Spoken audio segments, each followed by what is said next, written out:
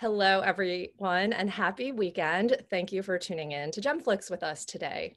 Gemflix is a series of online jewelry chats that we've curated with masters in the field to keep us all inspired while we are away from each other. Our special guest today is joining us from his beautiful home in New York City, which he has invited us into, Frank Everett of Sotheby's Jewelry.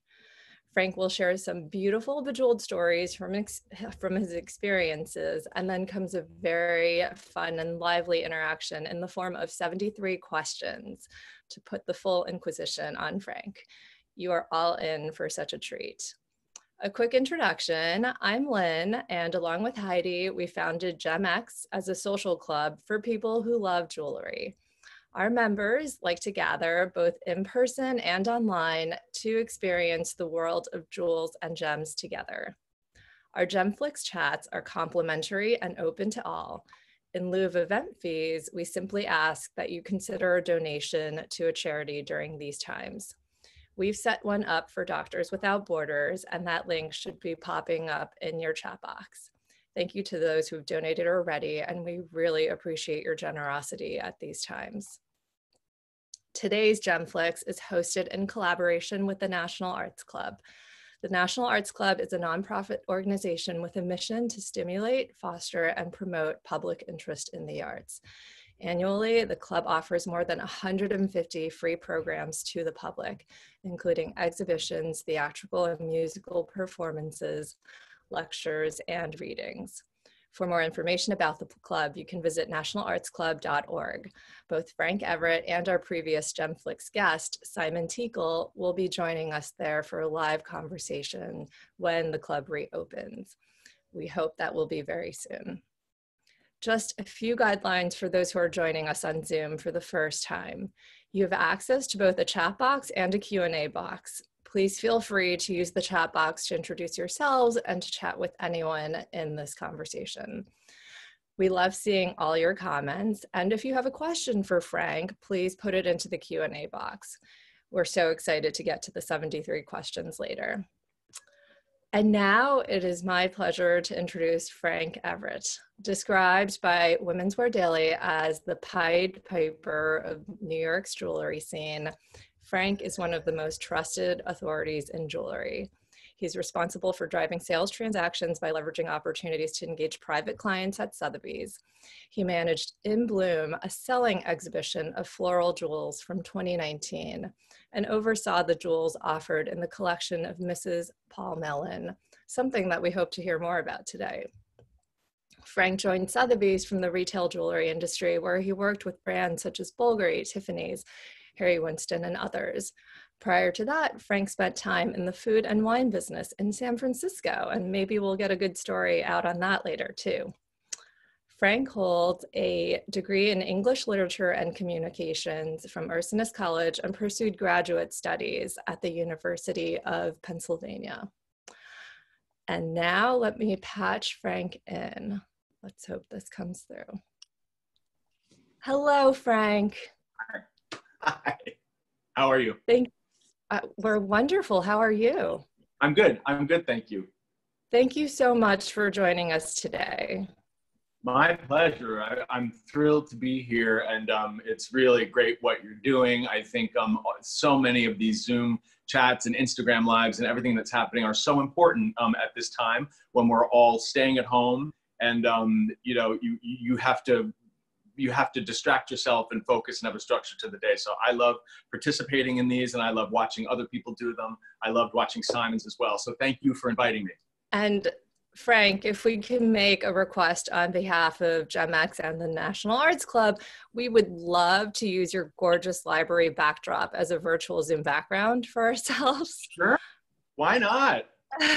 this is really one of the most beautiful backgrounds I've seen in an interview it's it's funny how people are you know people are trying to find good places in their apartments or their houses to be on these work calls. We're all doing them. And you can always tell when somebody's like not in the mood to get it together and they just you know don't join video. I do it myself sometimes. Like you know what? I'm just going to stay in bed for this call and not go on video. Yes. Well, with that kind of a background, I think it's already the perfect setup for this conversation. Um, so, Frank, to kick off the conversation, we're hoping that you could share with us some of the most interesting or unique projects that you've worked on during your time at Sotheby's. Sure, I would be I would be happy to. Um, I am I'm so in love with my job. I'm really kind of that poster child for I love my job, and I use that hashtag often on Instagram. And it's really I mean it genuinely, authentically. I'm very very lucky to do what I do for a living because it is what gets me out of bed, and um, I often don't feel like I'm working. So you know, it's a luxury. I think it's easy for people to say, "Oh, do what you love." Yeah. Yes, that's true, but it's not always so simple to find a place uh, in the working world and a career that um, that you feel so passionate and inspired by. So I'm lucky, and that's that's what I do. Uh. The three projects that um, I want to tell you about today are three that I am so proud of, but also that I feel so lucky to have worked on. The first was uh, I had been at Sotheby's for about a year, I guess, and um, you know they say timing is everything. It, mm-hmm. um, it happened in the spring, I think, of 2014, and um, it was the estate of Mrs. Paul Mellon, Bunny Mellon. And mm-hmm. uh, it turned out just at the time that we had to go to Virginia to review the collection, a lot of the senior specialists, people that had been there longer than I, were all either on holiday or off on other appraisals. And I, they turned to me and they said, Will you oversee this project? And I said, I mean, in a minute, you know, the, the, the stories of women like Bunny Mellon are what I love most about what I do. So um, it was something I never thought I would get to do. And we went to Oak Spring in Virginia um, to mm-hmm. review the collection, a group of six jewelry specialists. And um, I really just kind of organized and, and kept the flow of property going. But we were set up there with all of our tools and, and, um, and books and, and just really did research on hundreds and hundreds of pieces of jewelry. Um, wow. It was just magnificent. I mean, her collection was so important. And, uh, you know, we throw around words like tastemaker and influencer now. Yeah. I mean, come on, Bunny Mellon. She was, she was it uh, in terms of like uh, that true understated patrician American style. She invented it. Yeah. And uh, what she did for interiors and for horticultural design in particular, she uh, really created something special. And her jewelry collection and her love of fashion and jewels was was just an outgrowth of that. So it was unbelievable, really amazing. That's incredible. And is your first slide? Let's see. Is this Mrs. Mellon? Yeah. So there's just a, a, classic picture of Mrs. Mellon with her her signature topiaries. Um, she surrounded herself with them, and um, her garden was so special. We went there. I, I think Sotheby sent a total of about 50 specialists to her farm for weeks uh, because of course she collected in every category you know contemporary art impressionist american jewelry yeah.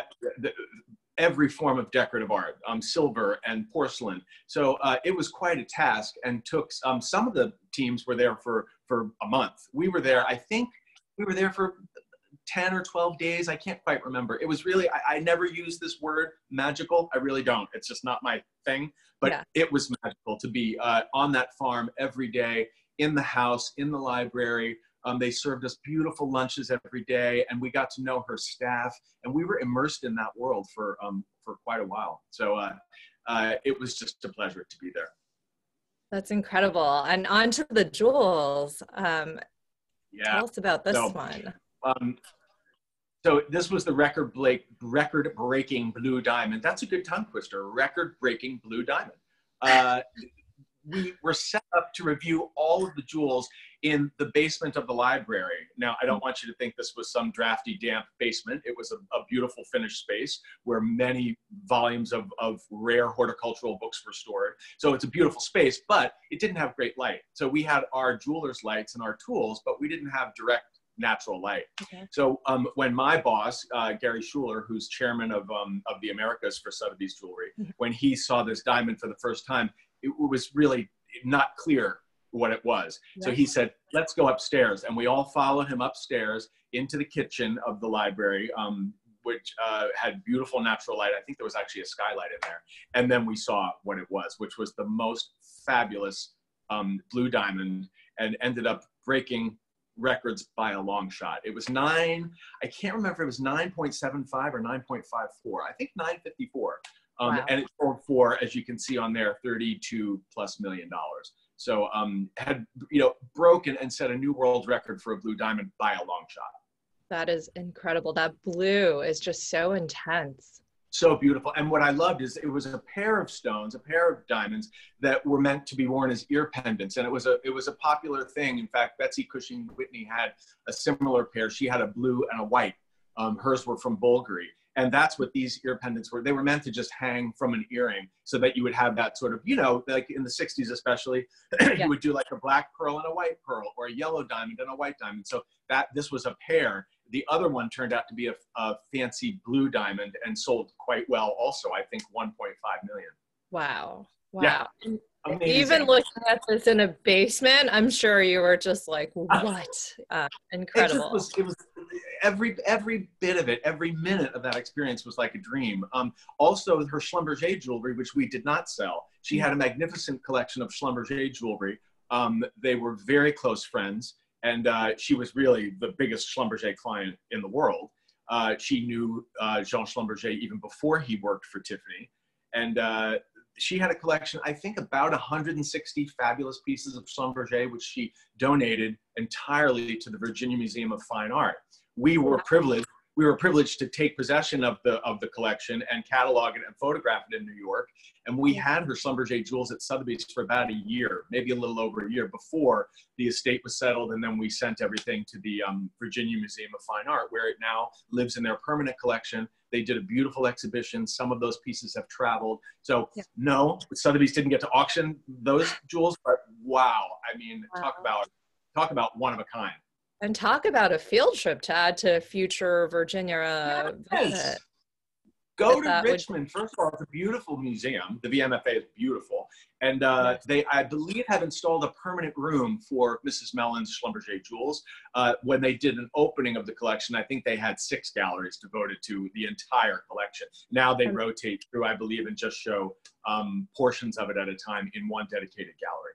Amazing, amazing. amazing. Um, and how about this one? Oh, the detail. So this is might be my favorite thing from Mrs. Mellon's collection. It's made by Verdura, um, who was also a, a, friend, and both Paul and um, Bunny Mellon frequently went to visit with Verdura himself and had many pieces custom made, um, lots of bespoke things that there were they were commissioning things and, and collaborating. So this, the oak leaf box, made mm-hmm. in three, you know, rose, yellow, and white gold. All of these oak leaves are layered um, to form this beautiful, heavy, heavy box. And then on the top, you can see it's all colored diamonds, an oak leaf done in um, various colors of diamonds, greens and yellows and blues and, and just beautiful. I don't actually know blues. I think they're just sort of like champagne colors and yellows and, and greenish yellow. And then when you, the best part, when you open the lid of this beautiful heavy gold box, inside is a little tiny diamond leaf, a small version of the one on the lid inside, just a detail for you, the owner, right? It's just like going to sit on your nightstand or on your coffee table, wherever, and only you know about that extra little diamond leaf inside. I think it's a masterpiece. Um, it sold for a, hundred, a little over a hundred thousand dollars, I think, which I thought was a pretty good price. I mean, it's such a work of art, though, as you say. I mean, it's just work the attention detail, and you've never seen anything quite like this. Yeah, and you know the oak leaf is a is a recurring um, motif for Verdura. You see it all the time. In fact, to plug my little online sale that just came online, uh, bidding starts on yeah. Monday. There's a little pair of oak, Verdura oak leaf earrings in the same color palette as this box. Um, I don't think they're diamonds. I think there's um, there are uh, other gemstones, but they're very pretty. So the oak leaf, and then of course Mrs. Mellon's farm, the, the farm in Virginia, yeah. Oak Spring. So uh, it was just the perfect piece uh, for for her collection. It's stunning. Um, oh, I love it. And this, I think, launches into another story of a collection you had the honor of working with. And this photo just yeah. takes your breath away. Who is it? Isn't that stunning? So this is uh, Daphne Guinness, um, another famous style maker, designer, uh, lover of fashion. Uh, and this piece was part of the collection of Shaun Leane. Uh, Shaun Leane has now become a very good friend of mine. He's a jewelry designer. He worked with Alexander McQueen for 20 years, uh, creating pieces for McQueen's runway shows. So Shaun is a, is a, a jeweler. You know, he trained as a bench jeweler and makes things in platinum and diamonds, and he's a goldsmith, I think, at, at his core. So he makes beautiful jewelry. These pieces were much more fantastical creations inspired by the vision of each McQueen show. So, you know, if you had the pleasure of seeing the Savage Beauty show at the Met, um, there was an entire room devoted to accessories from the McQueen runway shows, and most of those were made by Shaun Leane. So, um, you know, fast forward 20 years after McQueen's death and after their collaboration had ended, Shaun had many of these pieces. You know, at the end of each show, McQueen would say, "Well, it's it's your work and you made it," and um, so he kept them. And what do you do with a collection like that? Uh, so we were so pleased to be able to uh, assist and offer them an auction, and they have ended up in some of the most important collections. Fabulous pieces. This piece um, was uh, it, it's a, a, white, gold, and diamond glove, sort of like a falconer's glove, if if you will. And then you can see the diamond fingernails, and then the beautiful birds um, in diamond, also decorating this this heavy kind of mesh chainmail glove. It's unbelievable to hold. The first time I held it in person, I just I couldn't believe it. Um, so that's that was uh, what we chose to put on the cover of the sale. I think there were 42 pieces in total that we sold. That's about three. It'll be three years in December um, that we had that very successful sale. And what was so exciting was when the collection came to us, it wasn't clear how we would sell it. You know, a lot of these, now this one is absolutely jewelry with fine metal and diamonds, but most of the pieces were made of aluminum or silver or you know different kinds of metals but not necessarily precious materials. So were they jewelry? Were they fashion? Were they contemporary art? They were actually all three. So it really stood alone and appealed to collectors from all of those backgrounds. That's what I loved most about that sale. It's and the photo itself, Frank, I think you and that you chose to take it in black and white. There's something so timeless yeah. about this and it really showcases this piece. This was a this was this was a photo actually like many of the photos in the book. It came we didn't take that picture on the cover. Um, I believe that's an image by the fashion photographer Nick Knight, um, uh-huh. who was a friend of Shaun's. And uh, one of the reasons that catalog, I'm so proud of it, it is so beautiful just as a keepsake, is because um, Shaun Leane had such wonderful connections with all of these great fashion photographers uh, yeah. that he had worked with, and they all gave him use of image for the book. And we often don't have so many great photographs. So when you look through that book, you see wonderful work like this. And well, we have great photographers at Sotheby's, but we did not take that picture. Not that. Well, that's credit where credit is due. Um, let's see some more. Is that also Shaun Leane? Yeah, that's just a picture of Shaun with Lee McQueen, his dear friend. And um, again, you know, they were students at school together and worked together for many, many years on so many projects. And McQueen, as I said, was known for these themed, very theatrical shows, very uh, focused and full of meaning. So the work that Shaun did um, to complement each collection that that Alexander McQueen was making was really um, it really was art. It really was a work. Each one was a work of art, and we were so happy to to sell them. So wonderful. Yeah, it's I'll never never forget it. The exhibition was beautiful. The catalog was beautiful, and Shaun is just the most wonderful person. Um, this piece, the the coil neck piece, is um, I, I, chose this one to show of all the pieces from the collection because it's uh, it had such a life. It, I think was in three different McQueen runway shows, as well as being worn by Bjork on an album cover. And um, it had several incarnations, and then I think it was first made in brass, if I'm not mistaken, and then maybe in aluminum, I'm not sure what the other metal was. And then there were extra rows added to it at one point. So it had a, a, a rich life between Shaun and McQueen. They used it again and again. And um, it's just a magnificent piece. And it, that it, it really, I think, um, borders this what is jewelry? Is this armor? I mean, it's so powerful too to see. Obviously, inspired by African tribal jewelry and then worked into um, beautiful, beautiful McQueen fashion shows. I mean, really, it was just worn so beautifully. Um, again, if you see the catalog, you'll see all four images yeah. from all the different um, ways that they used it. So it's just a pretty fabulous piece.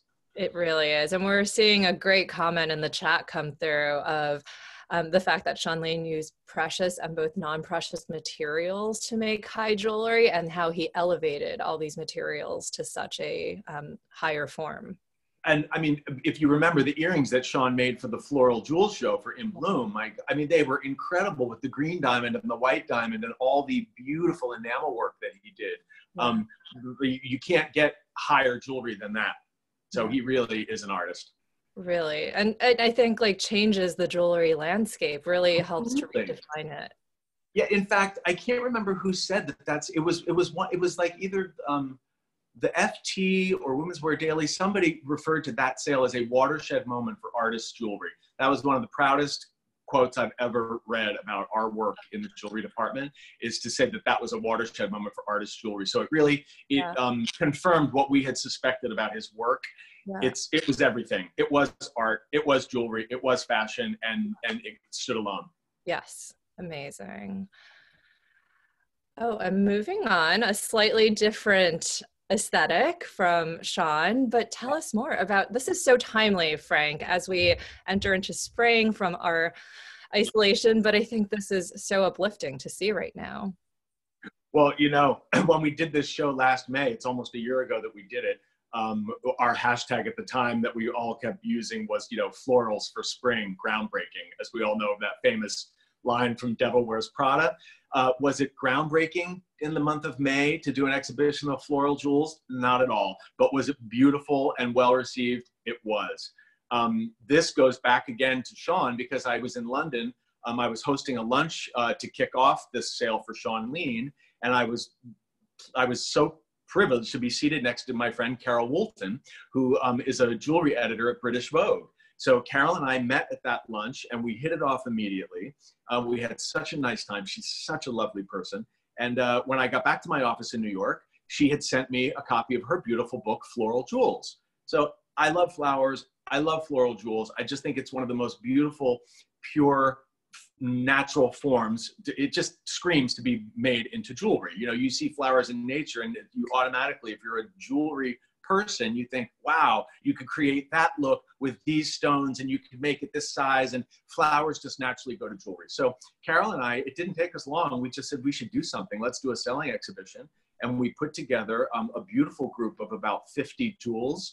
I worked on the vintage pieces. She worked on some of the contemporary designers. And uh, it just ended up being a beautiful, beautiful exhibition that we did last May at Sotheby's.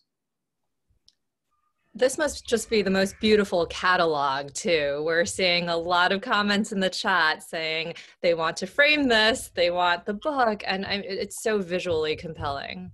Well, these were made, um, our marketing team you know said that they were going to do a photo shoot of the floral jewels and i wasn't i didn't know so much what the concept was going to be until the day of their shoot and then when i walked in when they were creating these beautiful still life with the with the gorgeous fabric and then you know pinning the actual little insects and butterflies and that kind of a thing and creating these gorgeous tableau i was blown away i mean it's one of the most beautiful things that they've created for jewelry ever and um, we actually turned them into a set of postcards. I think they did about eight or ten um, yeah. pictures like that, incorporating. And I love that they incorporated old and new together. You know, we're always um, trying to position vintage things with contemporary pieces, and I think they just did a beautiful job of that. And the contemporary jewels did very, very well. You know, I don't see a lot of contemporary jewelry in my auctions because right. those jewels are still being enjoyed. People are still, you know, they've been recently bought and so they're still being enjoyed. But we love contemporary jewelry and it was a pleasure to include them.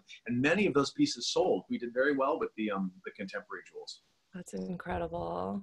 Let's see some more. Is this one of the contemporary pieces? Yeah, these are incredible earrings by Cindy Chao. Um, truly, the, she is an artist, and this pair of um, of flower earrings, all done in Tsavorite with white diamonds as well, were sold. The the I think the catalog went online, and I think they were sold in about 20 minutes.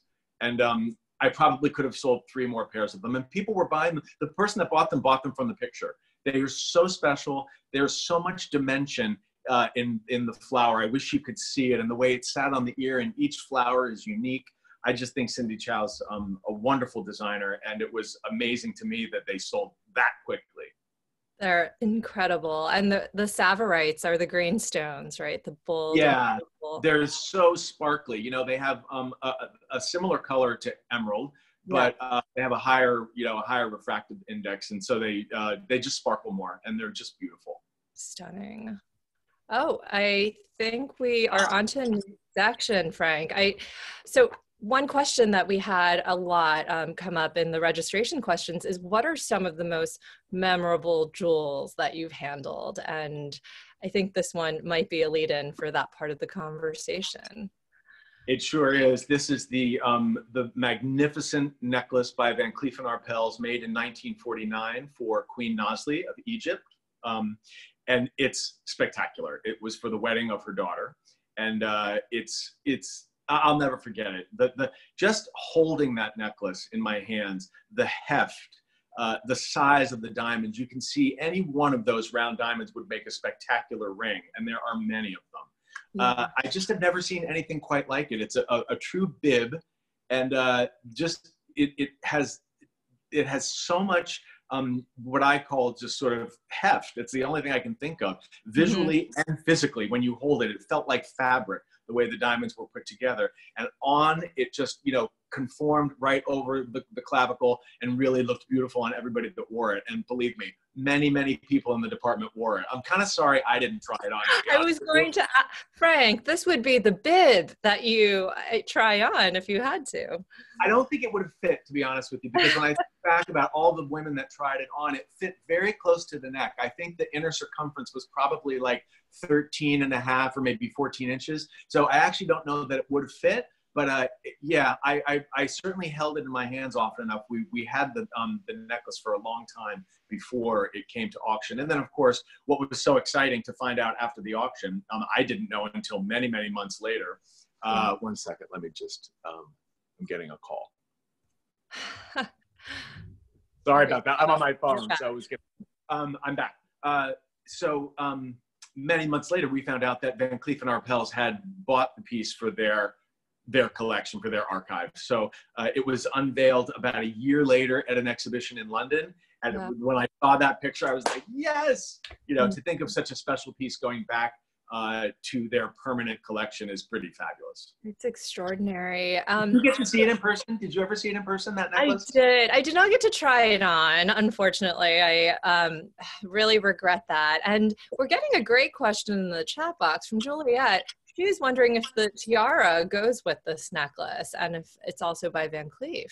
It, it is the, the tiara and the earrings. All of that entire suite that you see on her was made for the wedding yeah. um, by Van Cleef and Arpels. I do not know the whereabouts of the tiara or the earrings. Stunning together. I mean, they almost look like mirrored silhouettes um, on it's, her. And, and, the earrings, a lot. I mean, to see it all together, it's like she can practically, uh, you know, she almost can't hold her head up. But you know, the earrings, the earrings are like the size of my hand. I mean, they're just, you know, it's just, a, a, it's a staggering collection of diamonds that she's got on all at once. And I'm privileged just to have held the necklace. It's breathtaking. It's breathtaking. Um, is there another jewel that really, I think, has captivated you and sort of is worth it's hard to believe anything really comes to this level but we would love to hear more well it's i never i, I can't pick favorites because there are so many things yeah. i love and it doesn't always have to be um, the like the, the highest value piece. Yeah. Um, one jewel that I didn't send you a picture of that I should have is a famous bracelet that was from the collection of Marlene Dietrich, okay. and um, it's a, a 1940s bracelet by Cartier, heavy gold links in rose and yellow gold, and then just a big barrel of lapis for a clasp. Oh, yeah. So it's just that lapis and gold. Um, we sold it several years ago. It sold very well. I think it sold for about 160,000 um, all in. But that, I'll never forget that jewel. It was just such a such a great story um, yeah. from Dietrich's collection. It had been gifted to her by the author um, Erich Maria Remarque, who she knew very well and helped during the war. And uh, it was just a, a so piece. I can't pick a favorite. Um, the Queen Nazli necklace, of course. The next slide that, that I included is just a, a, great piece of design, in my opinion. This is a 1970s necklace by Bulgari. Um, wow. Um, you can see that huge carved emerald um, on the bottom of the sautoir. But if you look closely at the chain, there's every stone imaginable, not just rubies, emeralds, and sapphires, but also citrines and aquamarines and lots of what we call semi-precious stones. So it's a complete mix, every color of the rainbow in that necklace. And that's another one that ended up going back to the um, archival collection. So Bulgari bought that back to their permanent collection and it went for just over a million dollars in Geneva. um, last year. So uh, that's just a, to me an unforgettable jewel in every way. Uh, this, the history, the story, the look, the color, and then the, the, where you know the end result that it went back to um, a museum collection. I love that. It's incredible. And uh, that it's really just on a simple black dress. I mean, it is the statement jewel. Isn't it fabulous? It's incredible. Um, and I think we have one more that you've picked out to highlight for us. So this is sort of the, you know, an example of the ultimate provenance. Um, and, you know, that is kind of my, my favorite part, um, the story of the jewel. And when I first heard about this collection through my colleagues in Geneva, I just didn't even believe that it existed. Huh. Um, so there were one about 100 pieces in the Bourbon Parma family um, yeah. that in their four centuries, and I think five of those pieces were attributed directly back to the personal collection of Marie Antoinette. So um, I, I, didn't just hearing the story got me excited. I never imagined that I would be able to get to hold these jewels, be in the auction room when they were sold, and of course, this is the top lot from that entire sale. The magnificent natural pearl pendant on that little diamond bow. Uh, there, I believe there's a painting of her wearing this piece, mm-hmm. and um, it sold. Uh, it sold for 36 million. That's incredible, Frank. Just for a sense of scale, how big was this? Well, it's um, it, you know, it's it's probably two, three, two and a half to three inches from top to bottom.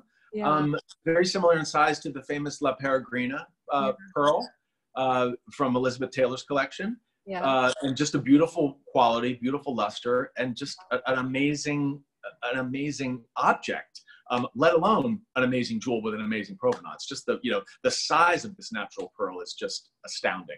So it really ticks. It just kind of ticks every box and more. And more. Yeah. yeah.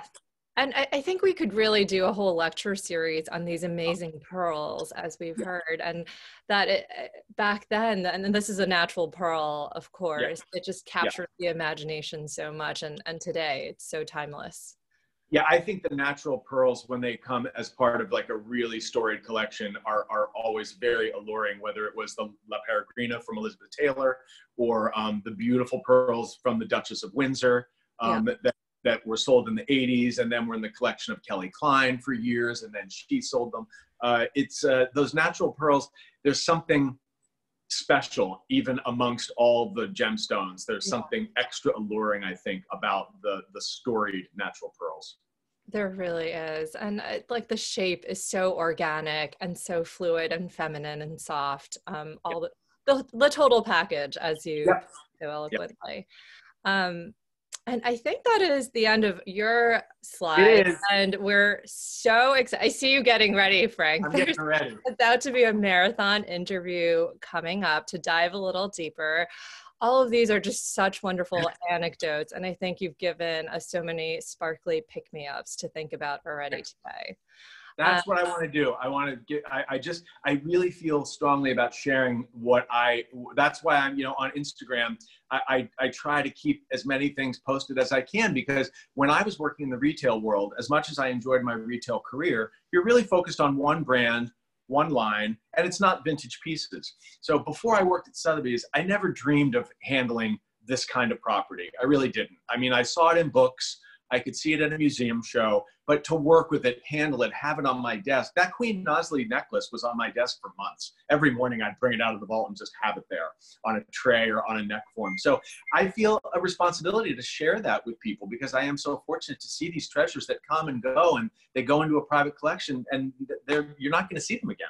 No, it's so true. And I think it's a slice of history too, as yeah. you're saying. You're precisely historian but uh, like the contemporary jewels you've highlighted they're just so reflective of their time and yeah. you really are so lucky that you have the opportunity to encounter so many of these um, and Frank, if you are ready, we ready. Have, I mean, literally, I my hope, I don't know. Actually, I don't know if I'm ready or not. I had it on silent as we were chatting, but um, it's been dinging. The, the chat room okay. has been coming to life. And if you are ready, we are um, we have a great set of questions for okay. you. Um, are you ready to get started? Yeah. Okay, great. Frank, can you tell us how you started your day this morning? I started my day. I actually did a, uh, like a Zoom workout with my trainer, um, which I've been doing twice a week, and uh, I'm so happy to be doing it. Uh, he's a great guy, and um, I, I was working out from the beginning of the quarantine, but I only started about two weeks ago with him because I was like, do I really want to do this on Facetime? It's like, but it's been fantastic. It really, it's like being at the gym. So that's how I started. That's amazing. What did the workout consist of? Oh, all kinds of stuff using resistance bands mostly. Um, so he puts me through my paces, and uh, it's really, it was great. Frank, what did you have for breakfast this morning? I don't eat breakfast. Oh, do you drink coffee or tea? Black coffee, and I haven't had anything to eat. I usually don't eat until um, like two in the afternoon. Okay. Um, is there a TV series you're currently binge watching? Uh, there's usually a, a, a, bunch. I'll tell you what I just finished. Uh, one called Freud, um, which turned out to have absolutely nothing to do with Sigmund Freud, although he is a character in it. So I finished that, uh, and then I'm really excited. We, we just broke down and bought the the Hulu so that I could watch um, Mrs. America with Cate Blanchett. I love that. So that's that's next, and I might I might start it tonight. Um, so I've been watching that one, and then the other one we're midway through is called World on Fire with Helen Hunt, and it's a um, you know sort of pre World War II 1930s drama, and it's beautifully filmed and um, that's that's an era that I'm very interested in. Also watching Babylon Berlin, uh, about halfway through the most recent season of that. If you know, it's fantastic series. Also, um, you know, set just before the beginnings of World War II. Awesome. We'll have to add those to my list. Um, yeah. Frank, what is the best movie of all time? Funny Girl. Considering jewelry, what is the best movie of all time? Funny girl. Love it. Um, do you have a favorite actor or an actress, Frank? I don't have a favorite. Um, I, I, I love so many different performers. I re- that that I don't think I could pick a favorite. If I had to pick a favorite jewelry performance, um, I won't say funny girl, even though I could, because that last scene, the Art Deco earrings that Barbra Streisand wears in the last scene, are like a, they're like a supporting character in that scene, yeah. right? Yeah. Like when she's singing, if she weren't wearing the earrings, there would be some drama missing. Yes. But um, jewelry wise, I, I really still love all that Chanel jewelry in the Keira Knightley version of, um, uh, oh, what was it? I can't remember what the film was now, where she wore all the Chanel jewelry. Anyway, I can't remember. Um, and let's see. Oh, there's some comments coming on in the chat. Maybe someone will. Was it Anna Karenina? Yes, of course. There it is. I knew our chat box would come through. Thank you guys. Not my favorite film, but just the, the way that jewelry was shown and worn in the film was, I thought was beautiful. Amazing. Frank, if you could style someone for next year's Oscars, who would it be? Oh, who would it be? Um, I always think that uh, that Amy Adams wears jewelry beautifully. She's worn a lot of vintage Cartier. She's um she's she's shown up on the red carpet with with vintage. So I would probably say either Amy Adams or Nicole Kidman, who wears so much Fred Leighton and really has worn lots of 19th century jewelry on the on the red carpet. So I'd probably choose one of those two. And what clothing and jewelry would you have Amy Adams wear? Vintage. Anything? I would just anything vintage, you know, call my friend Cameron Silver at Decades and uh, and find something there. I mean, if I were styling, if I had the privilege to style somebody like that for the red carpet, I would definitely go vintage all the way. Love it.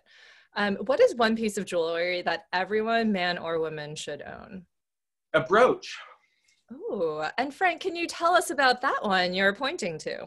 Yes, I I finally broke down and bought a brooch for myself because you know I'm spoiled and I have so many at my disposal every season. I kind of never have to wear the same brooch twice. Yeah. But at some point, I thought this is crazy that I'm encouraging everybody to buy them, and I didn't have one. So um, last year, I was in London um, for Masterpiece London, a wonderful show that sadly will not be happening this year, but hopefully next year we'll get to go back. Mm-hmm. And um, on the weekend, I was just shopping around Portobello Road, and I saw this little Victorian star. It's a very typical design. You see them often, but I just thought that's a perfect thing for me to just have and wear on my lapel. So, and it really pops. Um, the shape. I love it. It's beautiful. Um, Frank, where did you grow up? Uh, I grew up in Pennsylvania, uh, about two hours outside of New York City, mm-hmm. on a farm, actually. Oh, did you have a favorite subject in school? Oh yeah, English, English literature, uh, novels, and and theater in particular. I love um, plays, so in literature. Um, and what was your most likely superlative in high school? Oh, probably um, act like class actor. Class actor. Biggest biggest ham. Frank, if you had to teach a course in university, what would you call it? Oh, um, great ladies of the day. Oh, love it. Love that. Maybe we'll do that as an e-course. I um, love it. If you had to take your jewelry students on a field trip, where would we go, irrelevant of distance? Where would we go? Paris, I guess, Place Vendôme. Yeah. I, I think, yeah, if, if you know, money's no object, that's yeah. where you're going to get the full immersion and understanding of, yes. uh, of the great, of the greatness of high jewelry. Of course, of course. Um, is there any advice you would give to yourself at a younger age? Um, sleep more. Love that. Um, where do you feel most inspired? A spot? Museums i think. I mean we're pretty uh, we're pretty fortunate in new york city and uh, we've lived here now my husband and i seven years and we take full advantage. You know we go to the met regularly. Yeah. we go to all you know the Neue gallery. I, I, don't know. We might go to the Neue like once every two months it seems. I um, so i think that's oh i'm getting another call so i gotta are you back? Yeah. Um, so I think I would probably say museums, and I'm, I'm very inspired by um, artwork outside of jewelry. So I think it's important um, when you spend so much time in the jewelry world to look at everything else. I'm particularly like, you know, 19th century painting um, yeah. is a passion of mine. Uh, furniture and decorative arts, mm-hmm. obviously, you know, and when you look behind me and you see these books, they're not all jewelry, right? Yeah. There's fashion, photography, interiors, art, um, and part of the book thing is I have a hard time going to any museum show and not buying the book. of course. Um, it's it's only the weight that's the factor. I'm like, oh, do I want to carry this home? Exactly. Um, do you have a favorite gallery inside the Met or a favorite room? Mm, I guess the Costume Institute. I just yeah. love to, you know, I, they're not the greatest rooms necessarily, but I've had some of the greatest times. Even when I go to a show that I might not be that excited about. You know, when camp when camp opened, I was kind of like, oh, I don't even really understand what this means. And then when I got there and I just read the introductory wall text and the you know the Susan Sontag quote, and I said, okay, I get it. Let's get in here. And then it turned out to be a fabulous show. Um, so I think probably that's the, the most inspiring thing to me. Perfect. Frank, what's the best vacation you've ever taken? Oh, that's a tough one. The best vacation? I'm going to say um, Morocco. I, my, my, we, we went on a three week trip to Morocco for my 50th birthday. I will not tell you. I will not tell you how long ago that was. and, um, it was special because we went with friends, and we also did uh, a lot of cooking classes. It was kind of a culinary thing. Yeah. And so we were in the Atlas Mountains for a while. We were by the seaside in Essaouira. We were in Marrakesh, and we just kept doing cooking classes and then exploring these different areas. So I would say uh, that because it was a complete immersion, and I think that's those are the best trips when you go for to one place for kind of a long time. Yeah, three weeks. I mean, yeah. it just sounds like a dream right now. Luxury. That it was. It was amazing. So on that note, is there someone somewhere you've always dreamed of traveling to but haven't quite gotten to yet? Uh, yes, uh, I would say probably Southeast Asia is the top of my list. And we had a trip planned a few years ago down to some pretty fine points in terms of Cambodia, Vietnam, and um, and Thailand, and then we had to cancel at the last minute, and we just have not gotten back to doing it because it's a lot. It's a lot of time again, and yeah. time is the ultimate luxury. I mean, yes. when we talk about luxury, really, it's time. And yeah. so I we had it planned, and it's just been very hard to get back to, to. So that's probably top of my list. That's great. And what is the most adventurous thing uh, you've done in your life? Adventurous thing. I think the most adventurous thing was probably moving to San Francisco um, pretty much like on the spur of the moment. Like yeah. I think you know I was I was in graduate school at the time at Penn, and I just decided it wasn't really what I wanted to pursue. I decided is academia the thing I want to do and really be a professor, yeah. and I just loaded up the car and drove to San Francisco. I had a friend living there at the time, yeah. and um, slept on her couch until I could find a job and an apartment. And when I think back, I don't know how I did that. I don't even. I, I think I had you know two hundred dollars or something. Yeah. Oh wow. It was I mean, the eighties. It was the eighties. It was a different time. and I guess if you had a superpower, what would it be, Frank? Oh, I don't know. A superpower. Um. Oh, I can't think of one. I don't know. Actually. I mean, eh, we can come back to it, or it could be. I'll give you a few options. How's that? I mean, something something that I wish I could do. I wish I could make clothes. Actually. Oh, that's. I find that very like, uh, or or make something. Like I'm not very um I'm not very crafty or good with my hands, and I'm very envious of people that, that can that can make things. You yeah. know, I'm I'm not a gardener. I'm not. I mean, I do cook. That's the one thing that I do do. I do love to cook, but I would like to be able to to to make something. That's a great answer. Um, on that, someone is asking, oh, Frank, have you ever tried to make your own jewelry? Never. not, I, not even uh, not even a thought. And the few times that I've thought about like, oh, I could like design my own line. I could I could come up with I just the only the things that I design are just like direct copies of everything in these books that I've seen. Yes. so it's I'm, I'm too inspired by the great houses to even think past that. So no, I do not have inclinations for that. Um, from Maria in our chat room, what do you enjoy most about living in New York City? Uh, well, I do love walking to work. I think for mm. me, to be able to work at, at, a place like Sotheby's and to walk there, my dad always told me that if you can walk to work, you you really improve your life in in many ways, and he was absolutely right. So in most cities that I've lived in, I either can walk to work or at least a very short drive. Even when I lived in Los Angeles, it was a very short drive from yeah. where we lived to Rodeo Drive. So um, I think it might be it might be that uh, you know, and then the proximity to everything. You know that you can just get to so many things so quickly. But that walking to work thing is very important to me. That's a great answer. Um, Frank, it's Friday or Saturday night happy hour. Where would Frank be found in New York City under normal circumstances? Ooh, okay. So let me think. Um, if I could go anywhere right now for a drink mm-hmm. at six o'clock, yeah. I would go to that little chapel bar at the new photography museum. Oh, um, yes. Um, Veronika? Well, Veronika's the restaurant, which I also went to right before it closed, yeah. um, which was fantastic. But no, there's a little cocktail bar called oh. the Chapel Bar and oh. it's, it's, almost like a little secret thing. You have to know where the door is and then they they let a certain number of people in at a time and it is just it's very small and very beautiful. So if i could go anywhere i think that's where i'd go. That sounds delightful. Um, and frank from someone in the audience what would you be drinking at the bar?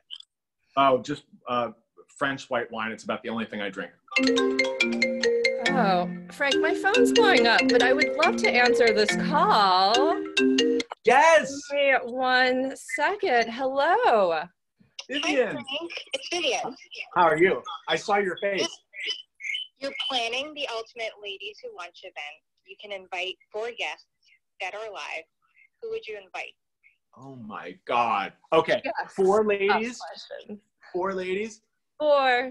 Okay. Yeah. So I'm going to choose Daisy Fellowes first of all, because she was the great style icon and had all the, the, the most fabulous jewels, but also there are so many scandalous stories about how awful she was. So I would love, I would love to like see her in action. She was like constantly stirring the pot and sleeping with everybody else's husbands. And I mean, the stories are legendary. So I'd invite her. I'd also invite Elsie de Wolfe because I think Elsie de Wolfe, um, the, the sort of the first named interior designer, uh, knew everybody's secrets. I think she was the great like party orchestrator and knew everything about everyone. So I think I'd invite Daisy. I'd invite Elsie de Wolfe. Um, I would invite uh, uh, Mrs. Wrightsman because I think she was probably the loveliest of all from what I've heard. I never had the pleasure of meeting her. And um, I would invite her also because I just missed the beautiful sale of her jewels when I came to Sotheby's. It had been about six months before. And um, colleagues still to this day will say, remember when we did Wrightsman? And when I say I wasn't there, they're like, really? How is it possible you weren't here for Mrs. Wrightsman's sale? So I would have to invite her. And then let's see, we have to throw in, um, uh, you know who else I would invite um, is Nina Griscom, who just passed away. And she was uh, somebody I think I would really have liked because, again, when I read all the accounts of uh, her, she was just a really fun loving society gal um, through the 80s especially. And um, she modeled and she was a tv presenter and she was just supposed to be just a really really fun person and had been very close friends with bill blass. So she worked with him. So i think that would be a nice a nice foursome. Did you catch all that vivian? Yes love it. Thank you. Love it. And you vivian love you can it. come and you vivian he added you should be there as well. Um, and to tag on to that question, Frank, what would you serve at lunch to these lovely women? Oh, they first of all, they wouldn't care. Um, it would be the, the lightest of, of the light. I've learned yeah. through my through my years of doing lunch after lunch after lunch, the lighter the better. Um, no soup, no red sauce, uh, and just keep it really simple. I mean, like a, a simple little green salad um, with a champagne vinaigrette and maybe some poached salmon and some steamed vegetables, and then a little sorbet for dessert. I just think it's the, keep it simple and classic. Yum. Um, from Tom Heyman in our audience, what is ah. your favorite spot in New York City to go to for lunch? For lunch, well, I do love Cafe Sabarsky at the um at the Neue Gallery. I have to tell you, that's Great. that's probably one of my like. It, we're so jaded um, in New York, and doing what we do for a living, being able to go to so many fabulous meals, right? I mean, not only do I take clients to lunches and dinners, but then we host things at Sotheby's, and then when we go to Geneva for this, I mean, we're very, very. It's a beautiful world and a beautiful, luxurious world that we're allowed to uh, tiptoe into. So we get a little bit jaded, but something about lunch at Cafe Sabarsky like still gets me excited. The idea of going there and to sit in that beautiful room, I, I, I just I find it something I really look forward to. Yes. Frank, what is one fashion trend that you wish could last forever without going out of fashion? Um, I think the, a look that I that I find completely timeless is uh, I'm, I'm trying to think of who sports the look so well. Sort of like imagine like Ali MacGraw with with hair just like parted and completely slicked back, and yeah. then a massive earring. Yeah, that to me is just like a look that I never ever get tired of. And when I see it in editorial, in Vogue or Bazaar, it's just like that is. it's just it's so much about a woman's face mm-hmm. pulling the hair back and then framing it with some fabulous big big earring i think that that comes to mind so chic. Frank, what is one trend, fashion or not, that you wish were over already? Uh, men not wearing socks with suits and business shoes. Mm. Do you know that? It, I, I think I just saw it. I thought it was gone. I mean, I really thought it was gone.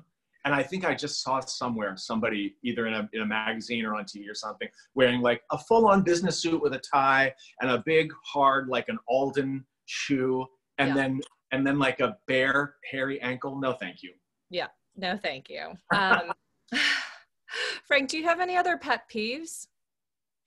Oh my god. How, how much time do you have? Maybe just a couple. Um, i think one of them is impatience and i can mm-hmm. sometimes exhibit impatience so it's something that i always try to to watch in others and remind myself it was something that was very important in my family mm-hmm. um, my father had a lot of patience and i was I, I, think it's a very very important thing to have and as i get older and busier and certainly moving to new york doesn't help it i think I, I, lose patience easier than i did in my youth and I, I, I try to keep myself in check so maybe I, I see that in others and i don't like seeing it and i don't like seeing it in myself yeah do you have a guilty pleasure, Frank, or something you can't say no to, even though you know it's bad? Yeah, I mean, food. The the, food. the worst thing for food are you know sprinkles, cupcakes, uh-huh. and um, and cake in general. Like I really just love cake, like a big birthday cake with frosting, and I could get one every week of the year. So, I did um, see your post that sprinkles delivers. Oh, like so dangerous. in this apartment, we're kind of taking it to the limit in terms of trying to support the businesses that we want to stick around. So we keep ordering things, and it, it is important. You know, if you've got anybody out there that you that you love, if Yeah. it's a restaurant, if they're still open right now and sending food, Yeah. you just have to do it, and then you know you deal Yeah. with it when it arrives. You throw away the outer packaging, you wash your hands, you pop it in the oven, and Yeah. we're trying to support as much as we can. And the cupcakes were that kind of a thing. I mean, I'll I'll just be devastated if Sprinkles isn't here when we when we get back to the new normal. So Sprinkles cupcakes would be it. Love that. Um, and Frank, what is the hardest part about your job? The hardest part, um, what would be the hardest part? I think because the, the business is seasonal, you know, we it's almost like an academic calendar. The I wish sometimes the work could be spread out through the year a little bit. Like we do get pretty quiet around the holidays, which is lovely. You know, Yeah. after my many, many years in both restaurants and then retail, for mm-hmm. me, Christmas was one day, right? Yeah. So I would work Christmas Eve always. I'd have Christmas Day off, and then the day after Christmas, you're back at it. So the seven years that I've been at Sotheby's, it's a luxury again to, to be able to have. We have two weeks off at Christmas. We actually have a shutdown um, Yeah. because there are no auctions going on. But um, this the summertime too, I think you'll see maybe more of a spreading out of of auctions um, throughout the summer because that's the hardest part for me. It all happens in the spring, and then it all happens in the fall. And when I'm working on my jewelry auctions, it's the same time that clients might want to talk to me about bidding on something in another sale, right? So if I work closely with a client, they might ask me about something in a decorative art sale. We've Yeah. got a beautiful sale. We've got a beautiful sale online right now called Style, and it's all decorative arts, silver, porcelain, beautiful things, tabletop. And um, I work with clients on pieces like that as well, and advising them. So I think that's it. I would just try to spread the work out. Um, and Frank, what is the best part about your job? uh, making making the matches, being a matchmaker. My friend Cameron Silver uh, asked me last week. I did a call with him, and he called me a matchmaker, and that really is what I do. Because as soon as I see a jewel, I think about where it belongs, and um, it really is less about selling the jewel than helping it find its way into the right collection or helping the client find something that they are really going to love that's either going to be um, a, a key part of their collection and fill a niche or just be something that they're going to love wearing. Is it for an occasion? Is it going to match a dress? What uh, does it remind them of something that their grandmother had? Whatever it is i like making the matches. From Anonymous in our question chain, how do I get a job working with you at Sotheby's? well sotheby's is you know so it's a pretty competitive place. If i had known how competitive it was when i went through the interview process i probably would have been a lot more nervous. Um, i did come up to new york kind of a little bit in a naive way and i said well this sounds like a great opportunity. I'll go talk to sotheby's. But uh, it's very competitive and you have to have um, you, have to have tenacity and, and patience but we do have great programs that you can investigate online both internship programs and trainee programs. Hmm. and uh, th- there's a, a process that you go through but if you go online you can find both of those programs described and you can apply that way. And then people find their way into the appropriate um, specialist category after they they enter the program That's a great answer. And you're over halfway, Frank. Just so you know, we got the Ooh. counter going. So we're going to Really? things up a bit. Um, that was who are you- 35 questions yes. Um, who are you self isolating with right now? my husband of 20 years and uh, our little dog of 14 and a half years leo my husband alex and my dog leo Love it. How did you pick the name Leo? i'm a leo i'm born in july That was our Actually, next question. Yeah, and we couldn't think of anything else. My husband never really liked the name, but it stuck. You know, sometimes you just have a name and you can't come up with something, so it works. Yes. And what kind of a dog is Leo? He is a Maltese. Hmm. Do you read horoscopes in the magazines, Frank? Never. Never. If you had to grab three magazines before running onto a flight, what would you grab? Ooh, Vanity Fair, Yeah. uh, In Style, because I think that's just a good thing to read on a plane, Mhm. and probably Town and Country, because there's always so much jewelry in there. There's always so much jewelry. It's such a Yeah. good read. Um, do you have a favorite type of gemstone, Frank? My favorite stone, really, I actually can say it's a favorite, is aquamarine because I just love that color so much. Yeah. And I like all the blue gemstones, but aquamarine, there's just something when there is a beautiful crystal, a beautiful emerald cut aqua, it's just the most pleasing thing to my eye. I love it. That's beautiful. What's the largest aquamarine you've ever handled, carat size? I feel like we had one that was about 100 carats, and I'm trying to remember the jewel where I saw it. I do remember actually, it was at Carvin French. They showed it to me. They had a necklace with a big aquamarine. Oh, I think it was about 100 carats. It was beautiful. Sounds amazing. Um, Art Nouveau or Art Deco? Art Deco, Frank Sinatra or Elvis Presley? Sinatra. Diamonds or pearls? Whoa. So it depends on the diamond or the pearl, but I'll say diamonds. Diamonds. Do you have a favorite period in jewelry? It changes. Um, it changes from time to time. I love retro jewels from the 40s. Really love 70s jewelry. Um, I love 70s jewelry that's informed by Art Deco carved stones. So it, I, I don't think I could. I honestly I can't say. Is there a dream crown jewel you'd like to have? And this comes from uh, Tefgros Christo in Europe. A dream crown jewel. Um, I the, the, probably the um, the famous sapphire brooch of Queen Victoria Hmm. that that Queen Elizabeth wears. Uh, it was a gift to her from Prince Albert, and I'm so I love it so much. It's so simple and so classic. We actually have one a 19th century brooch coming up that's very much like it. Um, that we'll sell later this year, but I think that would be it. it. Because it was one of the first books that I ever bought was The Queen's Jewels, and I just remember looking at that brooch and reading the story and what a symbol of love it was between Prince Albert and Victoria. So I would say that. It's the story. It's so Yeah. Beautiful. Um, Yeah. From Marina in our audience, if you could work in any other department at Sotheby's, what would you choose? Oh, uh, without question, photographs. It's a, a, a passion. Uh, many of the books on the shelf behind me are, are photography books. I have a big collection of Richard Avedon books in particular. Most of them are signed. It's taken me 30 years to collect them. Uh, so it would be photographs. And how many books do you estimate are in your library if you don't know an exact number? I think I have about 600 um, wow. of, of these reference books. So the shelf that you've seen behind me, you've seen the full picture of it. Um, there's another there's another one in the next room exactly like it, okay. and then there are two other smaller shelves. So I think there's I think we we catalog them all and keep track, and I think there's about 600 volumes. There's, that's amazing. And how many of those are jewelry books? It's pretty evenly weighed. I would probably say about 20%. It's like jewelry, fashion, photography, art, interiors. So it's it's pretty equal. Yes. Um, and what book is on your nightstand right now?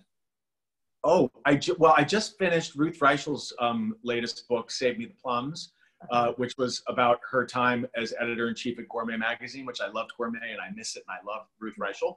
Yep. And uh, so now I just started reading something called Chanel's Riviera. I've just Oh, just yes. started it yesterday, and That- um, it's it's terrific. And it's not really a Chanel biography. It's Yeah. just about the time when Chanel owned a house on the Riviera from 1930 to 1945. But it's about that world and all of those people. So it's just called Chanel's Riviera as, as the anchor, but it's it's fantastic. So that's what I'm reading now. That's perfect. Okay, Frank, we're headed to the desert island now, and you can bring three books to read. What would they be? Howard's End, Mhm. Uh, which I could read over and over and over. Yeah. Um, honestly, it might be. I might take this one, the Cartiers. Oh, we love that book. right? Because it's so full of great information. Like it's like you could read a little bit and put it down, and I think it's something. Once you're finished with it, you could go back and start it again because you won't remember it all. Yeah. So I think um, that those two, and then what would be a third? Um, not a jewelry book. Uh, I guess I would. Um, there's a book called "Their Eyes Were Watching God." by Zora Neale Hurston um, that is just a favorite that I've gone back to many times. It's a beautiful, beautiful, beautiful book. And um, Yeah. so I, I might take that one, something that I would want to reread. Love that. And how about music? What are three songs you could listen to all day long? Well, I'm a Broadway show tune fanatic. So I could listen to the soundtrack to Chicago any day of the week. Um, I could listen to uh, you or me. That's you. Oh, no, no. This is for you, Frank. Let's Oh. go back to your other question, but can you Oh, see calling? hi. Hi, Joanna. Oh, let me put her on speaker. Here we go. Now we can Hi. hear you. Hello, Lin. Hello, Frank. Hi, how are you? Good. How are you? Okay. Good. Next question. If you could live anywhere in the world other than New York City, where would it be and why? Paris, of course. and I think you know why because it's got it, it's like it's like New York but a different a different version of um, urban life which is what, what I am it's ironic that I grew up on a farm but I'm completely urban and all I want to do is like go to the theater go to the museums eat in restaurants walk in the park is plenty of nature for me just a little walk on the river walk in the park um, but I love Paris and um, I love it as much as New York I think so I that's where Perfection. Love that. And we're all going Thank on a field trip with Frank there when we can. Uh, exactly Thanks, Yeah. Joanna.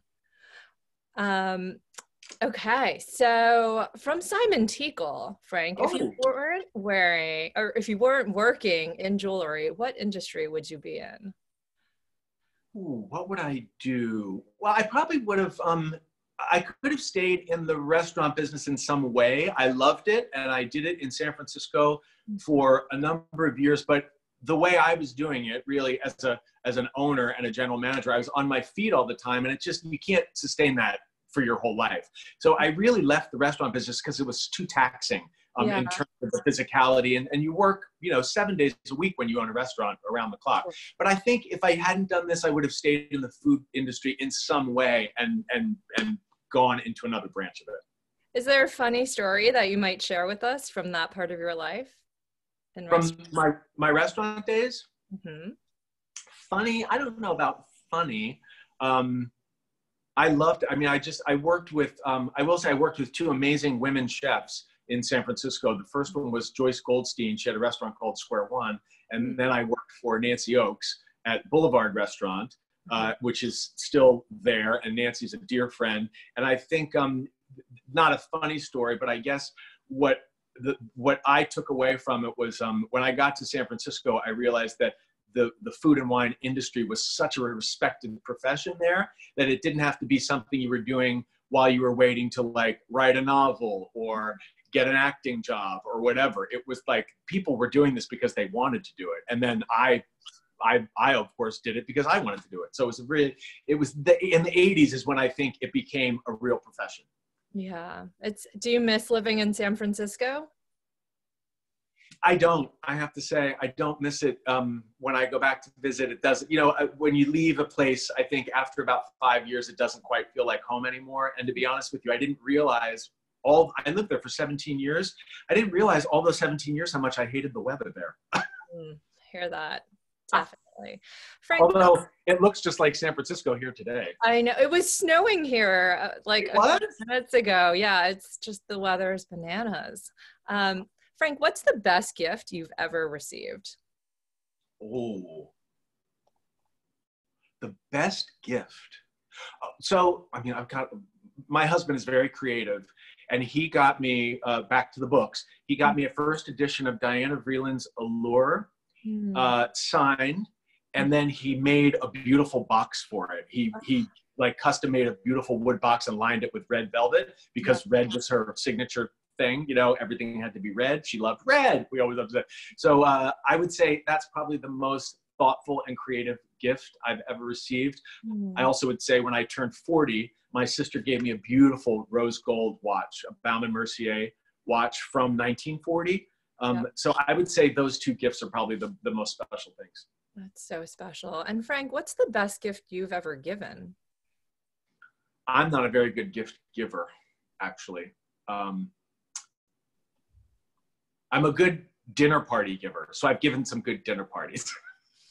so I guess that's the That's- best the, the best gift that I've ever yeah is to do for friends' birthdays or for my husband's birthday. I do love to do like a, a two, like spend two days cooking, organizing, setting the table, every beautiful thing you can pull out of the cabinet, and like all the stuff. So I think that to me is the best gift I ever give. Love that. Um, is there a signature dish that you like to cook and prepare? No, well, not, there is a dessert that I make often. This um, Meyer lemon buttermilk pudding cake with raspberries and whipped cream. It's actually something that I learned from Nancy Oakes at Boulevard, and she still makes it. So that's kind of signature dessert. Cheesecake is another thing that I love to make. Yeah. Um, so I would say those are probably my signatures. That's incredible. Frank, from the audience, is there any advice that you would give to someone trying to succeed in your business? Uh, read, read, read, read, read, read. Get these books and read them cover to cover. You know, um, I was talking with Stellene Volandes from uh, Town and Country about jewelry books that can be read because you know people forget that it's more than just the pictures. Yeah. So you have some that are all pictures. Then you have some like the Cartier book I showed you, which is mostly text. It's really a, a history book. Mm-hmm. And I like the ones in between. And I think people miss out sometimes when they don't read every word in these beautiful books. So that's my advice. And Frank, did you have a mentor early in your career? I've had so many. Oh my God. I've, I mean, if, if I, if I lined them all up to say thank you, it would take me all day. I've yeah. been helped along the way every step by so many people from, uh, I had a, a professor in college, Joyce Henry. She's passed away. She was amazing, and I lived with her for a year. Mm-hmm. Both Joyce Goldstein and Nancy Oakes in San Francisco. Here um, at Sotheby's, yeah, I, I, mean, there's so many. I, I've really been very lucky. That's amazing, Frank. Do you have a style icon? Uh, No, I don't think I do because I think I've changed my style. I mean, for my personal style, I don't have a person that's an icon, but I do have brands that I aspire to, even if I can't afford to always buy them. I love the look of Etro. Like whenever I see Etro ads, I want to be that person. So that's kind of a, a like an aspirational icon iconic look to me. I just love that that mix of like classic with a twist on the color and yeah. the mix of pattern and that kind of thing. So I, I guess that. And we're down to the last 10 questions, Frank, if you can. Oh. Um, what is your favorite place to shop? So I don't, I get overwhelmed when I shop. So I tend to like places that have smaller selections. Mm-hmm. Um, I, I was working with a guy at Bloomingdale's for years, but he left and um, went to Bergdorf's. So I can't afford to shop at Bergdorf's. so yeah. uh, the last place that I felt really like that I enjoyed the process was at um, Todd Snyder. Actually, mm. I, I just I felt like it was focused, and there were a number of things that felt right to me. But I actually get I can easily get overwhelmed shopping, and then I just say forget it. I can't buy anything. I I, I don't like too many options. Yes. Frank, what was the most unexpected piece you've encountered in auction? And this comes from the audience. Unexpected. Oh well, I think I has to go back to the Marie Antoinette pieces. Yes. The, that, the, the whole the whole notion of that family collection still being with that family uh, that that to me was was I was shocked when I heard the news of that from Geneva. I was just shocked. From Don in the audience, what jewel have you held in your hand that has brought tears to your eyes? Oh, tears. I would say um, the thing that brought tears. I, I inherited my, my grandmother's um, engagement ring, which was a beautiful Tiffany ring, mm-hmm. um, not big, but from the she got married in 1922, and I had that ring in my possession for many years. Mm-hmm. And I was living in San Francisco, and I was I was robbed, mm-hmm. and uh, the ring was gone, of course, and I can't remember how long it took, but eventually I found the box so they had they had taken the ring and thrown the box on the floor. And I remember picking up that box, which I still have. It's in my bedroom right now. And I, of course, I cried. I looked at that. So I think that jewel to me was like something that had been left to me and and and trusted to me. It was like I felt really sad about that. It's so sad. Oh well, um, there's nothing like a lost jewel. Um, like lost jewel. Frank, if you could have any woman's jewelry collection from history, whose would you choose? Ellen Barkin's. Mm, yes, JAR. And I know I know we didn't sell it, but I don't care. All that JAR, come on. Frank, if you had a million dollars to invest in one thing right now, what would it be? Uh, a piece of Cartier Tutti Frutti. Anything. Ooh, that's awesome. Frank, what's your favorite app to use on your iPhone? My favorite app? Yes. Um, I'm going to tell you seriously, we have one, an internal app from Sotheby's called Sale Results, and Oh. it's real time as sales, as auctions are happening in every category. You can keep up with the results, Yeah. and I really love, I love that app, and it's it's not on my phone right now, and I really miss it. So when the auctions are happening, I can't just go and get that screenshot, that Yeah. that little snapshot look at the at the auctions, and then Instagram. Love that. Um, do you have a favorite Instagram hashtag? Uh, the brooch is back. Of course. What are three must follow accounts on Instagram? Oh, three must follow accounts. That is really hard. I follow so many, and we all many. follow the same the same jewelry ones. Um, I mean, I get the most joy, honestly, from some of the dog rescue ones like Bideawee and, and Social Tees. Um, When they, especially when they show you the su- success stories of a Yeah. dog they rescued, and then they do fast forward a year later, and it's been placed in a home. So I think those are very um, meaningful to me. And uh, and then things from friends, you know, like one that comes to mind, my friend uh, Rori uh, Trovato, she has an ice cream business in California. And Yeah. uh, I, that's how I stay in touch with her because I just watch her post. It's Rori's Yeah. Creamery.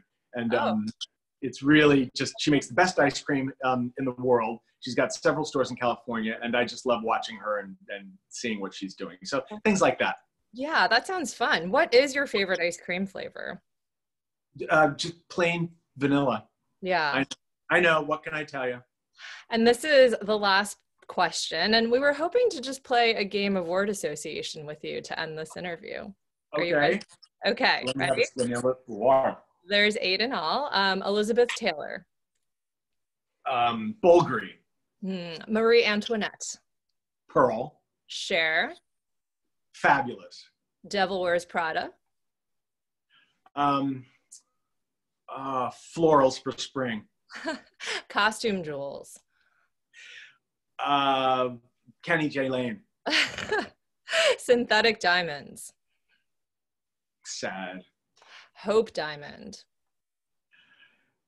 I must go see it again. I've only seen it once, and it was a long time ago. Yes. And last but not least, what did you think of this interview? It was great. It was fun. I I didn't think you could do 73 questions in in this time frame. Well, we got there. I'm happy to say Excellent. counter is at 73. And Frank, you've just been so wonderful to spend this Thanks. time with. We could sit here for hours and chat with you all. Everyone in the audience, we hope that you enjoyed it as much as we did. I hope so too. It was really, really good fun. I love doing it, and keep. I'll, I'll keep watching for the ones that you do in the future because these are um, they're really fun. They're informative. They're distracting at this time, and um, it's what we love to talk about, right? The great jewels and the great stories. Absolutely. And for everyone who isn't already, please follow Frank on Instagram. He's at Frank B. Everett.